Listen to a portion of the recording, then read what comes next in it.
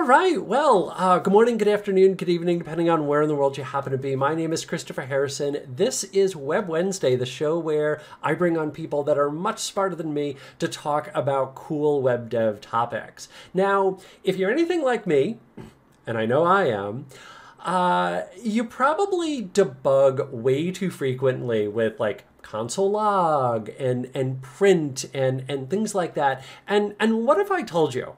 What if I told you that it turns out that there's a better way to actually manage all of this that you could i don't know use some better tooling and be able to walk into your code and see what variable values are and and and start doing you know a lot of other things beyond just simply printing out here here got to here this didn't work things like that. And so, fortunately, we have Leslie Richardson that's going to be joining us from the Visual Studio team to highlight some of the cool things that the Visual Studio debugger can do for you and to help hopefully start to get you away from that print console log type thing that we all do into using a better tool for the uh, for the job. So Leslie, thanks again for for joining. It's it's fantastic to have you here. Happy to be here. So I always like to start off every stream with the the question of how did you become Leslie Richardson? Like how did you get into um, uh, into the space? How did you get to be uh, where you are? Yeah, so I joined Microsoft straight out of college. I went to University of Florida. Go Gators! and um, yeah, so since then I've been at Microsoft for three years. All of those years have been spent on the Visual Studio team.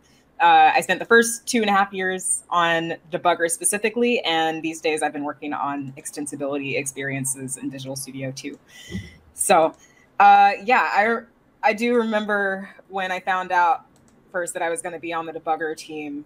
I was like, all right, I guess, because like yourself, Christopher, you're not alone. Um, I print statements were like my best friend. I put print statements all over my code whenever I was debugging in school and stuff. And I was never really formally taught how to use a debugger. And you know, sometimes just for flair, I might add a breakpoint here and there, but that was about it.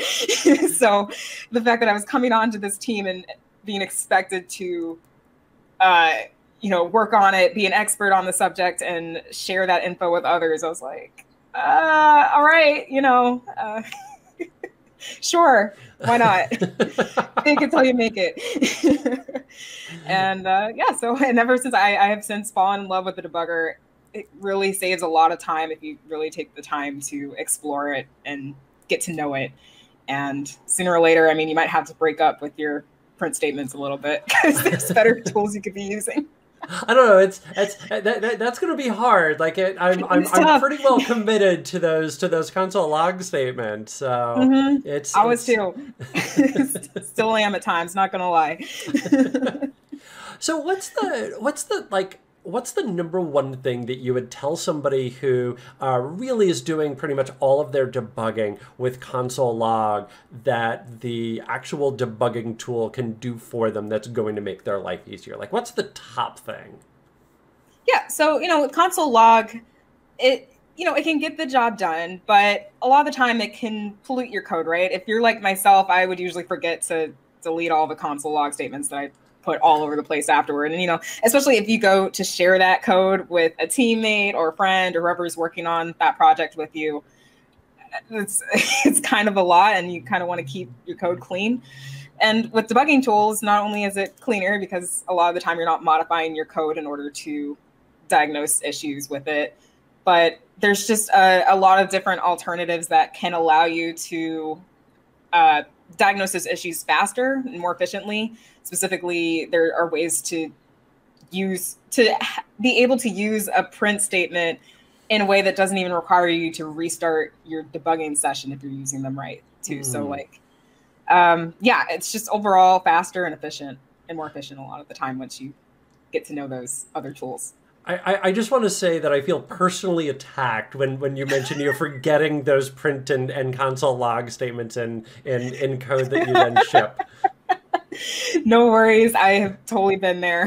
like it's just it's too much work. It's two in the morning. You're debugging this really annoying issue, and the time like I don't want to have to hit the forward slash twice to comment it out or remove it. Like, it's exactly exactly i i also i i loved something else that that you pointed out um which is that ability to be able to like print something out um, without having to recompile or restart your code. I think that's a really big thing because I know a lot of times when I'm trying to do that that console log, it I, I then just get stuck in the cycle of like, okay, fine, let me add in two or three more of these. Let me stop my application. Let me go ahead and restart it. And then I'm now walking through the eight steps that I have to, to, to do yeah. to then get back to that specific spot. Yep, exactly. definitely not fun. I mean, the amount of time you probably spend just stopping and starting your application uh, when you're debugging is probably a lot. that's that's actually a great point right there. Yeah, that I'm probably just losing a lot of time just doing that. mm-hmm. I'm sure that adds up very quickly. cool. All right. So, what does the Visual Studio debugger then? I, I guess sort of like look like. I guess maybe that's that's a good place to to to start. Okay, I, I can kind of give you like a overview since there's a lot yeah, let's let's do that. Hidden and not hidden. Yeah. Okay. Cool. So you can see my screen, right? Yep. Cool. So welcome to Visual Studio. Oh, um, uh, I think you might have the wrong screen shared out because I'm I'm seeing your browser uh-oh. window. Oh, that's awkward. cool. Let me change. Okay. Let's, the screen. Um. Do-do-do. Oh, I was sharing my entire screen because I'm. Ah. Okay. So Let's try it again. No worries. Cool. All right. And can you see that? Yep, I can see that. Give me one second then to get that set up into here. Um, everybody can talk amongst yourselves. I will give you a topic. The Industrial Revolution was neither industrial nor a revolution. Discuss. and Cool. All right, there we go. That looks better. Made it? Yep. Awesome. Cool. So, uh, yeah, welcome to Visual Studio. Uh, basically, I'm I've already hit a breakpoint, so we're in debug mode right now. And I think what's interesting about the Visual Studio debugger, and is something that I know the team we've been, we've been trying to work on for a long time now, is just making a lot of those cool tools more discoverable. So while there's a lot that's present at first glance, there's also a lot of tools that I'm probably going to show off later that are hidden away behind some context menu or something else that can be hard to find. So, so that's the downside to the debugger. But once you do discover them, they're really useful. So to give a general tour, you've got your stepping icons here. So you got step into, step over, step out. You have your inspection windows, which I use a lot to inspect all of your related uh, variables and stuff like that. Okay. And of course, you have your breakpoints, you have your execution pointer, which you can actually drag and move around, which I can show off definitely.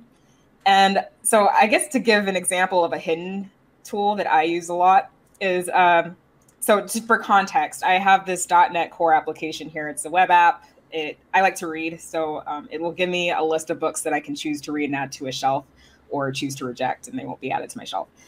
And I have this breakpoint that's set up at uh, one of my early constructor methods uh, called Book Manager. And let's say I wanted to navigate to the bottom of this function just to see that all of these books get loaded into uh, this neutral books array properly. So usually this might be the time where I might have to start spamming the step over button or F10 in order to get down there. And that's not going to be fun because I got this for loop that's coming up here and I could be stuck in that for loop for who knows how long. So an alternative that I use all the time is this feature called run to click. So you'll notice this green glyph icon that appears when I hover over a line. So if I click that, then it should take me, uh, yeah, so it just, it fast forwards my code's execution all the way up to that point. It's like having a fast forward button on a remote control.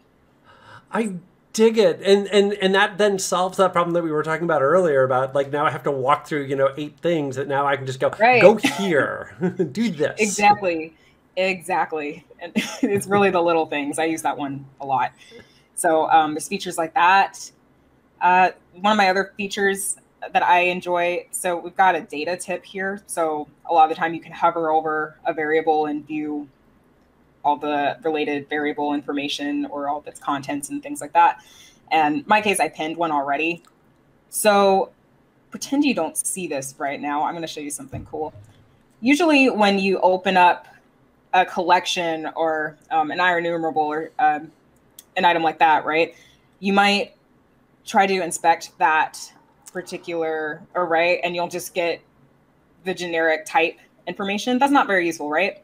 So if you wanted to know the, if you would like to quickly identify each of these books in this case by uh, its title property, for instance, all you have to do is navigate to which property you want to view first and then pin it. I call this pinnable properties, and it will be bubbled up to the top of your list. And then, as you can see, if I hover over again, it's a lot more useful information right at first glance instead of having to expand each of these out until you find the right one. And this is applicable to all of the different inspection windows that the debugger has. So I can expand this one out and see the same results. I can pin multiple properties and identify that way. So it's a really nice way to do it because uh, an alternative that was used before this tool was just, I mean, you could modify your toString method for uh, a particular class. But if you do that, that could impact your program itself. If you want to keep the separation between what's being displayed in your debugging environment versus what's being displayed in your program proper, you may not want to override your toString method with that debugging related info. So that, yeah.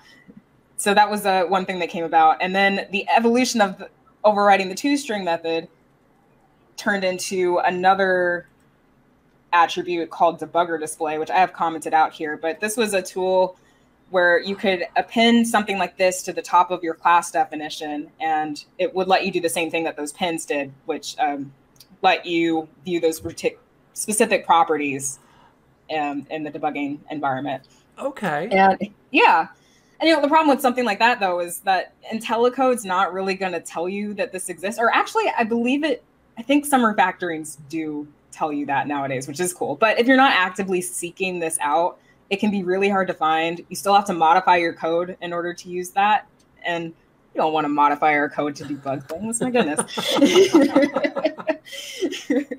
so, yeah, and that's where the pin properties came from. So, pin properties, it actually came from hearing customer sentiment. So, I, had been doing tips and tricks debugging talks for a bit, and a lot of people would ask about debugger display, which is always a hit at these talks. Like, wow, is this new to Visual Studio 2019? Like, no, apparently this thing has existed since like, I don't know, 2013 or earlier than that.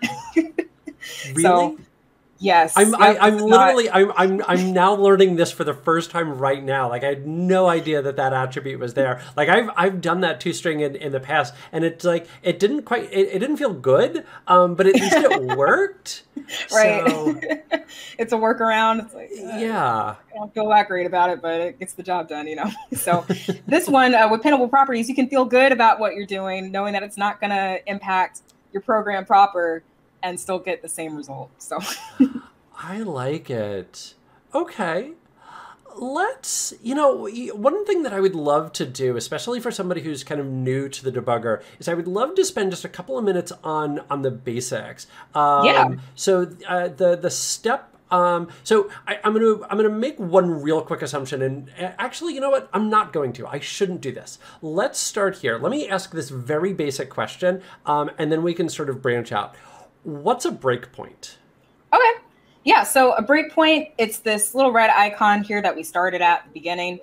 Basically, what it lets you do is you can pick a line of code that you would like to inspect first. So, and, and then from there, if you hit run or F5 or whatever the equivalent is on whatever IDE that you're using, breakpoints are pretty equivalent across most of the major ones, then your code will stop its execution at that given point. And then from there, you can choose to go line by line and inspect whatever you want, or you can choose to stay at that line and use whatever tools that you want in order to try to identify your problem. So um, let me refresh and I can go ahead and hit that breakpoint that I had set there again. That's sort of the, the gist of it. Okay, that makes sense. Yeah, so it's like a stop. It's telling your code, stop at this given point and let the user decide where they want to go from there. Right. Let, let me go take a look then at, at what the current state is. Let me explore a little bit. Mm-hmm. Oh, that's fun. Gotta love errors. Absolutely. Give that one Yep. more second. So, Yeah. yeah. there we go. I have hope. I have hope too. That's a good sign that didn't happen before the pop up. yeah, but what's uh, great about breakpoints is that once you get the basics down, there's so many different kinds of breakpoints that you can use to take it a step further. Like if you wanted to stop under a given condition, then you can do that, which is pretty sweet. Chugga chugga Here we go. chugga. There we go. Yeah, slow and steady. yeah, so you know that your breakpoint has been hit, and and a lot of IDEs you'll get like a little arrow like this. It might be kind of hard to see, but there's this yellow execution arrow here, and this is the arrow that is letting you know which line is about to be executed next. And so, as I mentioned from here, I my code is completely stopped. It's not doing anything besides existing at this given line. So if I wanted to continue, then I have a couple options. So the first one I can use is the step over tool. And step over just lets me go to the next line that's about to be executed. So in this case, it's the stream reader uh, block here. And then from there, I can choose to step over again and go inside here. Uh, there are cases where you may want to step inside another method. And if you do that, then you can use step into. That's probably not going to work here because I have a setting that uh, allows me to just ignore code that's not mine, essentially turned on. So don't really care about that. But oh, I believe get base string for image is one that I own. So if I stepped into that, then it should take me to that method. Okay. So that's step into. And then let's say I can step into there and I could do this all day. It could go on forever depending on what your code is doing. But if I wanted to step out of this method and return back to that line, then that's where step out can come into play and return me back to that line I was previously at. Okay. So that's kind of the basics. Yeah. So having setting brace basic breakpoints, you can set more than one if you want. You can have 50 if you want. and uh, also the beauty about Visual Studio is that you can keep track of all your breakpoints in the breakpoints window down here. So if you do want to get breakpoint happy, just know that it's pretty easy to discover and deal with them as you want, as you will. And uh, also the perk about using multiple breakpoints, if that's something you want to do, in addition to something like run to click, is you can set a breakpoint, let's say at the end of this function, and then we'll hit continue, and it should take me to that next breakpoint. It'll go ahead and run everything else from that previous line that I was at up to that point. Okay. And so that's that's a lot like that that run to cursor. Only this time it's instead Yeah. going to um, it's instead going to to the next breakpoint. Yep. Yeah, personally, I like to use run to click if I don't intend to use another break, a specific breakpoint for a very long time. Like if I want it to just be a one time thing, then I'll use run to click. But if I intend to make a jump like this a lot of times, then might as well just set a breakpoint. But it's your call. Okay. Whatever floats your boat. This th- this is such a great question that I want to make sure that I get it in, even though it it flow wise doesn't necessarily fit. But it's a great question. Um, so um, Sunny over on Learn TV asked the question: um, Can we do remote debugging by attaching to code on a remote server? So they know that you can do that with like local IIS and attaching to the W3 um, P um, service. But can you do that on a remote system? Yes, you can. I am not super familiar with it, but we have the attached to process window that you can go to under debug, and hopefully that loads up. Don't know why my computer's being so slow today. but um, it should give me a, a, dialogue of different processes that I can choose to attach to. And uh, since then, over time, we've added different connection types that you can do. So first, you have remote as an option. I don't have any remote processes running right now, but you can use that option. If you have a Docker container, you can oh, connect wow. to one of those, uh, Linux or Windows. That's a that's a really new addition that we did. Um, you can connect via SSH or WebSocket, JavaScript, TypeScript. So there's a lot of different options of processes to attach to, and then you can debug like you normally would. Okay, awesome, cool, cool, cool. All right, um, so let's let's go back then to to, to that debugger. Um, and one of the other things that I notice on on your screen is you've got that little you've got a blue pin over on the left side, and then your books is sort of like hanging out there, um, kind of doing mm-hmm. book things. Um, what what's going on there? Yeah, so this is a data tip, and that was that thing that I was doing where I was hovering over a variable, and you'll notice this drop down that uh, that comes up. So this could be this is a really quick way of identifying what the value of a particular variable is while you're debugging your code. So let's see, hover over something that's done. So like if I hovered over neutral books, for instance, it's filled up, I can expand it out and um, see everything that's being stored in that list. And the pin here represents a data tip that I decided to pin. Because one of the annoyances that comes with data tips is once you hover off of it, it'll disappear. So if you want to keep it around for a bit longer, then you can hover over, get the data tip, and then pin it. And you can drag it wherever. And this data tip will exist for as long as you decide to keep it there. So if you chose to quit out to exit your debugging session, it'll still be there and uh, it'll only disappear when you choose to delete it. Okay. All right.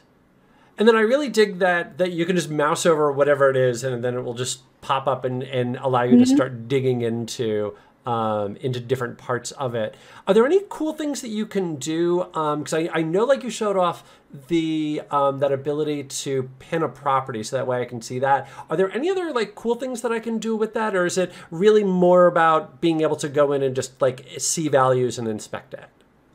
Uh, really, that's more of an inspection tool, and it's supposed to make inspection quicker. But there are some things that you can use alongside those pins. So we have multiple pins here one of the things you can do is uh, if you wanted to, let's see, yeah, if you wanted to show the property names, for instance, then you can choose to display those or not.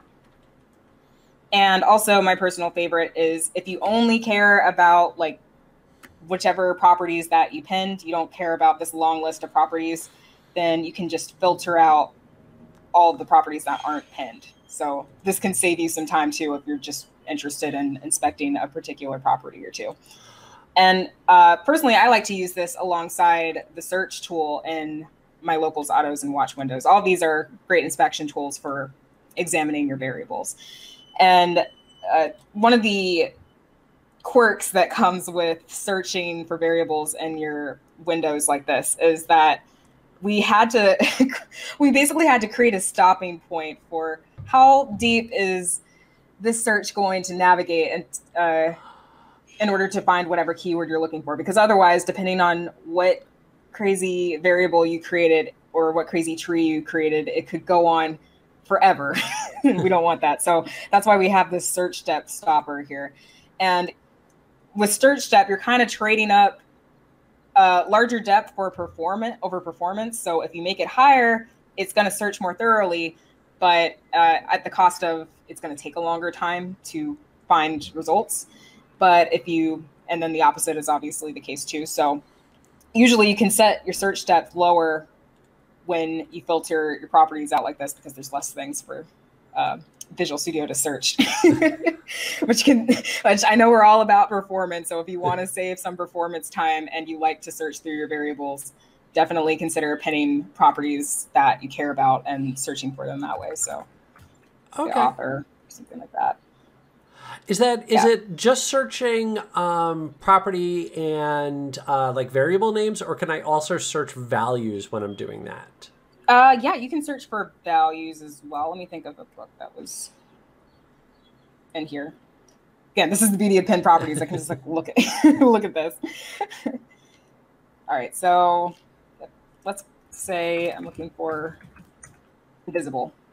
Ah. So, there you go. Mm-hmm.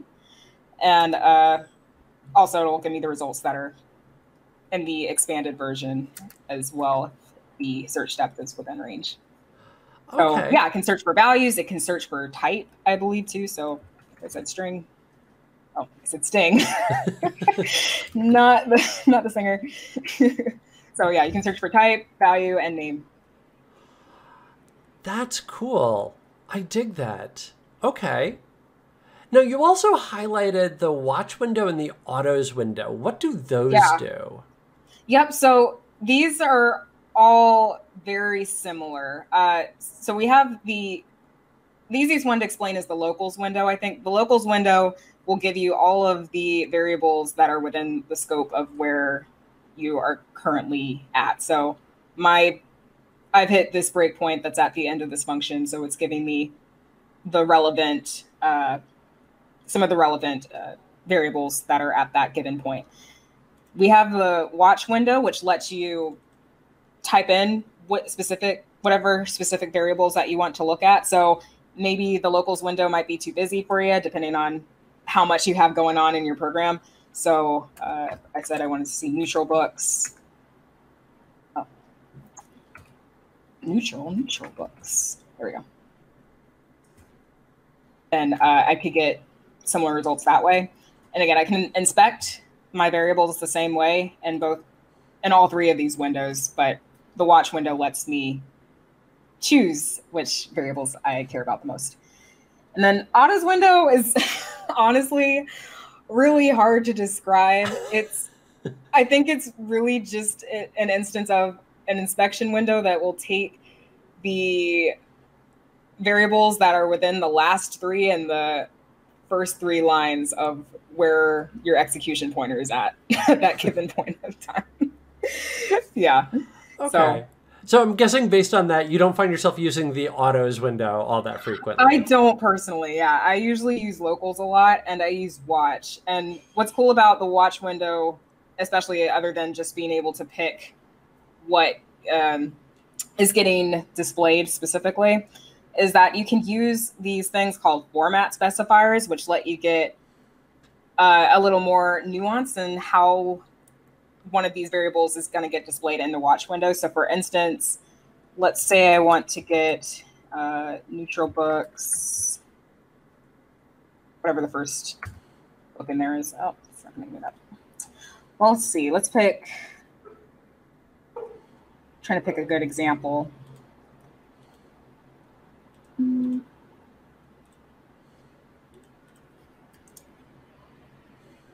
You know what? Got I'm blanking on a good example to you. No, that's fine. No right worries. Now, no worries. That's yeah, fine. Yeah. Mm-hmm. Okay. But uh, yeah, format specifiers, they're really cool. There's actually an example up here. It's just not in range right now, but no, there's this comma NQ thing. And NQ stands for no quotes in this damn in this case. So if I had a string variable where I didn't want to see the quotes, the quotation marks around it for whatever reason, I could just use comma no quotes and then it would show the value without the quotation marks. And other things you could have like an int value and maybe you want to display it as a hex number and not as a decimal number, then you can use comma h. So little things like that. And the beauty about it is you can use comma. So if you're not familiar with those format mat specifiers, which again, these are not very discoverable at first glance, then you can do comma and it'll give you a list of different ones that you can use. So there's decimal energy, integer, there's the hexadecimal integer, no quotes, as I mentioned. Uh, yeah, lots of different ones. And they change and vary depending on the language that you're using. So if you're writing something in C++, then the different format specifiers you get uh, will be unique to C++ and stuff like that. Okay. All right. Cool. So, what other things do I need to know um, about this debugger? Like, I've, I've asked you like everything that I've I've seen so far. So, what like what haven't I asked, or what else do you really love to show off in here? Yeah. Uh, so there's as I mentioned earlier, there's a lot of different kinds of breakpoints that you can use, and including one for the console.log print fans out there, there's an alternative breakpoint you can use called a trace point. So let me set a breakpoint elsewhere. Let's just set it here for now. And uh, with trace points, they essentially allow you to write a print statement without having to modify your code. So when this breakpoint gets triggered or when your code stops at that particular breakpoint, it's automatically going to send out whatever uh, print statement that you specify. So again, it's like you get the print statements that you know and love without having to modify your code or uh, potentially even have to stop and start your application to see it in action. Okay. Let that connect there. It should. It's yeah. I'm sorry. system performance is is inversely proportional to the number of people watching. I believe that. I like to think uh, things like this can be incredibly demo shy, too. So, like, well, give me a minute. Maybe I'll get there. And I, I think it had something to do with my get shelved books or add all to shelf method. So if I set a breakpoint here, I'm just going to go through the motion. Um, all right. So when you have a breakpoint, you can set a breakpoint as usual. You can hover over it and you'll notice this settings icon here. So if you click that, then you get a couple different options. So the first is conditions, and this will allow you to set what I mentioned earlier, which is a conditional breakpoint, and that will allow you to stop your code only under a given circumstance. So if you wanted your breakpoint to hit when uh, I, in this case, in this for loop, is equal to like 29, instead of having to constantly step until you reach 29, starting from i equals zero, then you can do that. In this case, we want to go to actions, and this will create a trace point. So from here, you're being prompted to uh, show a message in the output window. And from there, I can say, I, I want to see where I stops personally. So let's say index colon curly bracket I. Oh, okay. Hmm? So when I do that, uh, the breakpoint changes from a circle to a diamond in this case. I can also add a conditional breakpoint to this if I wanted to as well. And that would add a plus sign in that diamond as well. But we're going to keep it simple for now. Still chugging. All right, so let's hit continue again. And in my case, I actually told, actually specified for this particular trace point to not stop my code when that trace point is triggered. So this is an option that you can do. So you don't even have to stop if you don't want to. If you just want the program to run and then you'll inspect everything later, oh, okay. do that. Mm-hmm. So in this case, I, I hit continue. And one of my favorite windows that I in the past I found myself closing out a lot of the time, as I'm sure a lot of people do, is the diagnostics tools window. And this is a window that displays a lot. There's kind of a lot going on. There's a lot of good profiling uh, tools that you can use, specifically when it, in relation to CPU and memory. But what I'm most interested in is this bottom part here, and that's uh, specifically the events tab.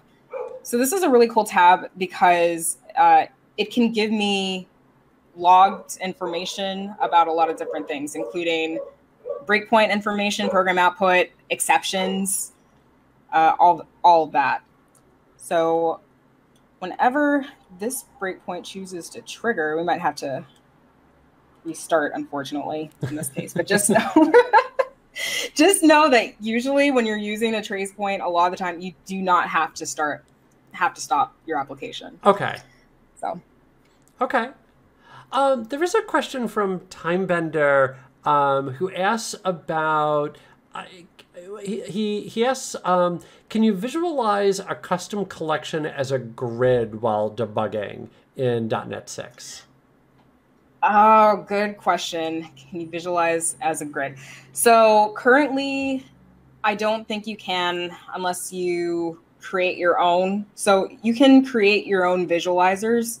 And I think there are people who have made visualizers that allow you to do that. I know that was something on our on the team's radar for a while, and I'm not sure what the progress is on it, but you are not the first person to ask that question about being able to view your matrices and other uh, 2D, 3D items like that in a better uh, visual manner. I, I, I, could see that in that way. Maybe I could go and like sort columns and things like that to be able to better see mm-hmm. what's inside of there. That makes sense. Okay. Yeah. All right. Gosh, I'm so sorry. it's taken forever to load. No, it, hey, this this this is this happens. This is like this is a real programming. Every every right? single person has has been there. Welcome. Yes. Need to throw a couple of console logs into IIS Express and see why it's not uh, launching correctly. Yeah, pretty much. Oh, yeah. I don't know. There's it, it, there's something fitting about about having a bug uh, occur while while doing a debugging right? session. While debugging. Very meta. Always enjoyable. Yes. Jeez, Louise. yeah. So um, I'm trying to think of other things that I can talk about while trying to troubleshoot these issues because it's so much cooler to show them, in my opinion. But uh, let's see uh, yeah, I was mentioning that diagnostics tools window, and um, it's great because again, it gives you logged information in a space that's not the very busy output window as well. Like sometimes you might print out information, like you know, if you're using a print statement, it's going to show up somewhere in that output window. And a lot of the time, for me in Visual Studio, at least, I have to scroll around until I locate the uh, the print statement, when which is hidden amongst a bunch of other lines that I don't care about. So with the diagnostics diagnostics tools window, you can easily filter out just your trace points aka your print statements in this case, okay, see them all in one place. now, uh, you know, while, while it's still like doing its thing in in, in the background, um, everything that you've shown so far is all of this available on the community edition of Visual Studio. Which, for anybody who doesn't mm-hmm. already know, the community edition is is the free edition of. Uh, well, I actually I think I should take that back. Um, it's it's free in specific instances. Uh, yeah, all all of these tools are that I've mentioned are free in the community okay. version. Really, the only ones that aren't are ones that I haven't demoed yet, and even then, it's very minuscule. If you have uh, enterprise specifically, uh, yeah, if you have enterprise specifically, there is a tool that you can use called IntelliTrace, and that will allow you to take like a snapshot of your uh, application state at the given point in time that you're interested in. And from there, you can actually rewind time and go to that location and inspect your variables and anything else that you want to identify in the same way that you would in the present. It's just uh, at that particular given moment in time. So it's really good for if you get an exception thrown and you want to go back to that moment in time where that exception occurred in order to try to piece together where the origin was then you can use uh, IntelliTrace to do that. Okay. All right. But everything else then is available with the uh, uh, is is available with the community edition. Yep. Okay. Correct. All right. Um, and on that uh, that that profiler that you were showing off, that's also in, in the community mm-hmm. edition. Is that part of um, the like the Visual Studio debugging suite, or do you sort of consider that as something that's that's um, that's ancillary to it? Uh, by ancillary, do you mean just like it's integral to? Uh, no, as in uh, as, uh, as in it it's it's like it's secondary to it. It's it's it's not necessarily directly associated with it. Oh, okay. I, would say it's part of the suite. So, okay. In the debugging space, we're part of a larger umbrella. It's just like Visual Studio Diagnostics, and that consists of um, the debugger space, and then the profiling space, and then production diagnostics, which deals with um, debugging your code while it's in production. So, uh, or while it's currently shipped and out in the world and people are using it and oh no some, you just got a bug type deal so yeah profiling has its own little world that is really cool to learn. You know, I think there's that mindset where uh, who cares about profiling until the moment you experience a performance issue while your code is up and running. You're like, oh darn it! Now I have to quickly figure out this suite of tools. So yeah, uh, definitely check out some of those profiling tools that can really help you pinpoint where your CPU usage issues are coming from, or your memory problems are coming from, or just uh, garbage allocation, things like that. okay. And so then that could also like track down um, like garbage collection cycles if you're doing like you know C sharp or something like that. Okay. Mm-hmm. Yep, exactly. Cool. Yep. So C sharp specifically, and I think that was one of the newest tools that uh, the team added. Um, yeah, because garbage allocation, you know, usually you don't have to worry about it because it's C sharp and it happens automatically. But there might be cases where actually you do care. so having a tool like that is absolutely. And the debugging tools that you've shown, um, do they work for all languages that are supported in Visual Studio? So I could do this with Python. I could do this with um, with with C Sharp, obviously, which you've been demoing. Um, but could I also do this with like JavaScript and TypeScript and Python? Ooh, okay. So for yeah, C Sharp and the .NET Suite, yes, of course that, that works. C++, plus a lot of these tools, uh, a lot of these same tools work with slight exceptions. So um, there's actually a tool called the data breakpoint that works differently in C++ than it does in um, C Sharp, but otherwise it's pretty much the same. For Python, JavaScript, and TypeScript, there are definitely a lot of limitations. I'd say for the the basic um, inspection tools and debugging tools, so like your breakpoints and uh, your stepping tools, your inspection windows, jeez, uh, all of those, all of those should work for TypeScript, Python, and JavaScript. But uh, yeah, the debugger it's it's more C++, C sharp friendly in the context of Visual Studio, not VS Code. Okay, okay. Now I, am gonna I'm gonna ask this question, but I want to make sure uh, because it, it, was bubbled up, and, and and I think it's it's a good one to to, to ask. Um, but I want to make sure that I caveat all of this by highlighting the fact that Leslie is not on the Visual Studio Code team; she's on the Visual Studio team. Um, so um, um, uh, Devon at one uh, asks the question. Uh, for all of these that you've shown off, is all of this available in VS Code, or are there certain things that are not available in in VS Code?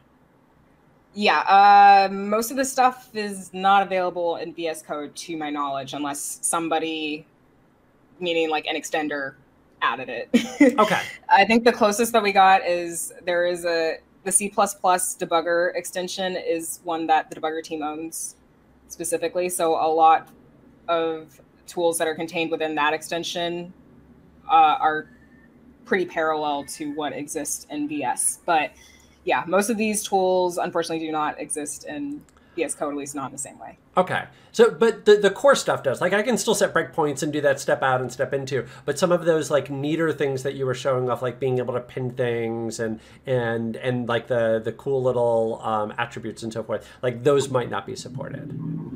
Right. Okay. Okay. Um. Unix Dev asked the question What's the best way to deal with debugging code that was compiled with the optimizer turned on? Um, is there an indicator to show when a line of code has been optimized um, out and can a breakpoint not be set? Ooh, okay. So, good question. There is the just my code setting that mm. exists, and uh, this is a uh, this is a tool that you know I give up. so, just my code. That is a setting that, when turned on, will allow you to only step through code that is yours. So, not framework code, um, none of that. Just the code that you've written. So, if you would like to step through that framework code and anything else like that that usually gets optimized out when you have that then you can turn on just my then you can turn off just my code so that might be a good way to start so uh, if you're interested as to where to go to do that i should just be able to type that in and it should show up see this is what i get for um, updating Visual Studio right before my demo. we have all been there. All of us yep. have been there.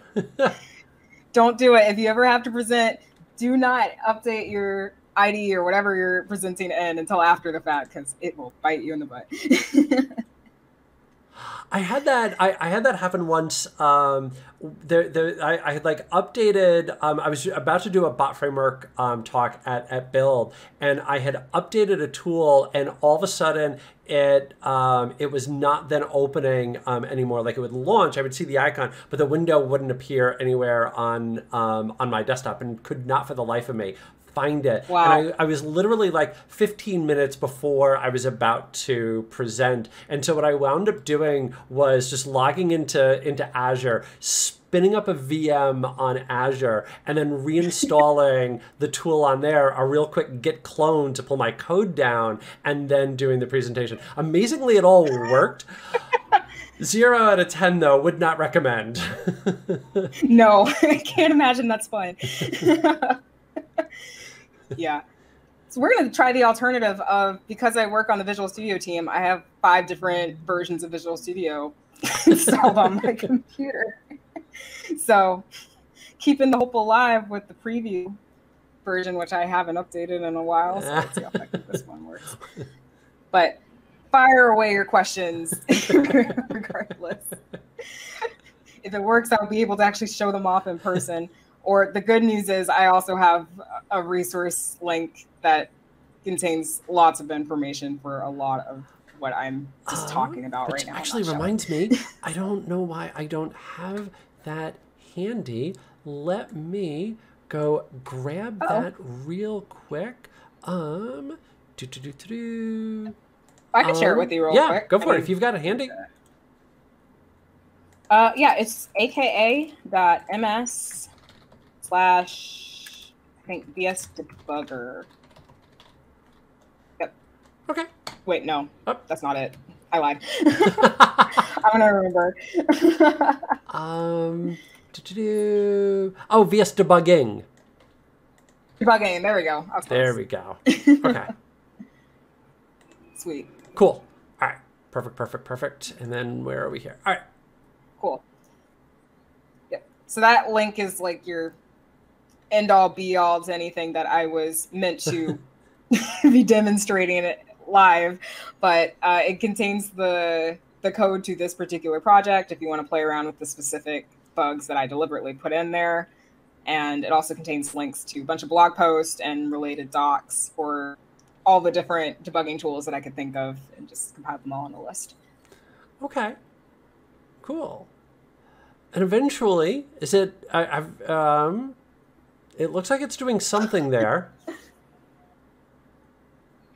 yeah, you know, baby steps. Could be working.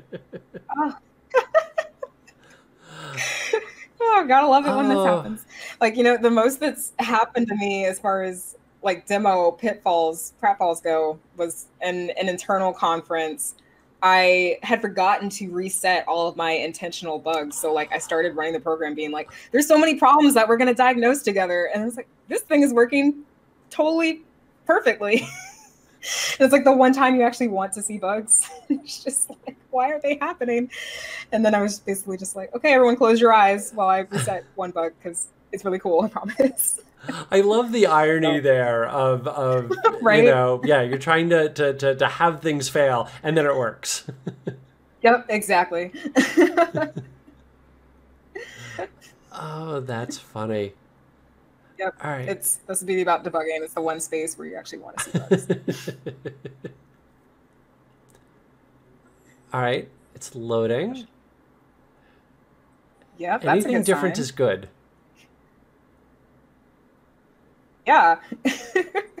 so am I your first guest where it's just the demos are completely shy and just don't no this yeah no this no this this, this this does it, it i mean again it's it's it's live it's it's live coding. It uh yeah this absolutely does happen. Yep. That's yep. the fun of it.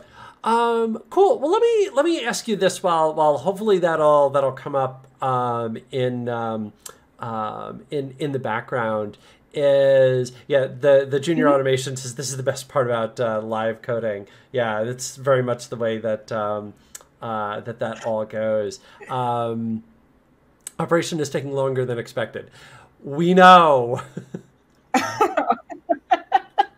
Like, thank you. You got that. oh that's funny all right um so so you mentioned the ability to be able to like add in your own console log um, um type of, of behavior and not have to um, do that uh, constant refresh of, of code. What are the other big reasons that you would give to somebody to go, hey, you really should be using a debugger for this rather than that old style way of doing, um, you know, console write line and things like that?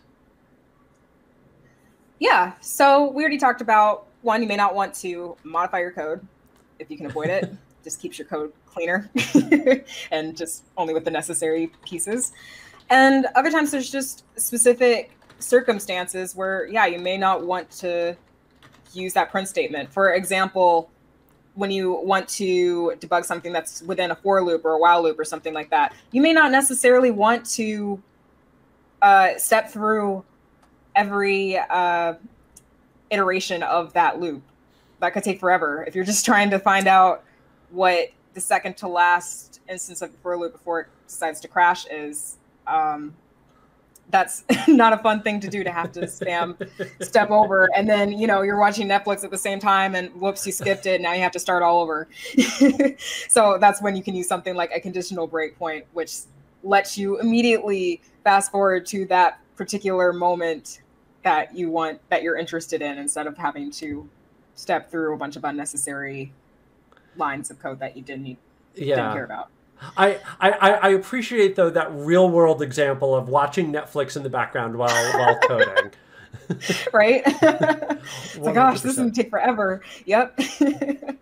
exactly. Other instances, you have there. Uh, I've experienced cases a lot of the time when I code where there's a variable or a class or just some property that's being changed while my code is running that was not meant to change. And the problem with it is, well, because you weren't expecting it, a lot of the time I don't know where that change is coming from. And like, how am I going to piece this together? And then that means kind of having to play the trial and error game. And that's really when uh, I'm pulling out all the stops on the print statements typically and putting print statements in every method, hoping one of them is going to fire and figuring out how to narrow it down.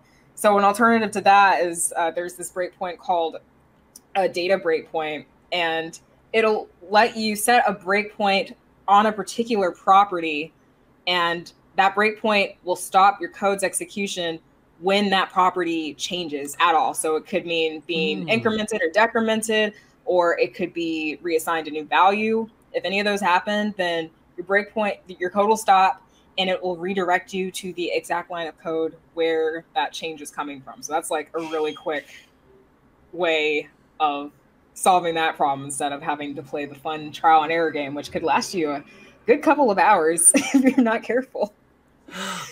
Uh, I, I dig that. So being able to track down those those types of, of accidental state change bugs. Although all the React Mhm. developers are going, see, this is this is why we just do everything stateless. right and you know it's, re- it's really good if you are like new to a team or you just inherited some new code that you're unfamiliar with and then when something like that happens you really don't know where to start because you're just now learning the code base and so you can use something like that in order to track it down faster especially if you don't even know where to start with your trial and error process Right, right. Yeah. Um so Tech Workbench asked the question, this is um, this isn't necessarily um, directly related to the debugger, although I'm going to sort of add on one um, to this. Um, is the question, you know, do you run unit tests to test your service and controllers before running the app? And the answer should always be yes, that you should run you should run unit tests. But let me ask you this follow up question: Is um, can you debug your unit test as well with the with the debugger? Ooh, okay. So I'm not super familiar with the testing side of the debugging space, but my good pal and colleague Kendra Havens would probably be the one Okay. to ask about that. She's she's like the testing expert when it comes to unit tests in Visual Studio. Okay. So yeah, I don't want to say anything that's incorrect. but, but if you ping Kendra Havens or Got Heap on Twitter, she'll probably know. God, he that that is a fantastic Twitter handle. I know it's so good. I'm so mad. I like my my Twitter handle is so generic. I, I tried to do something cooler, but all of my ideas were taken. Like, all right, well.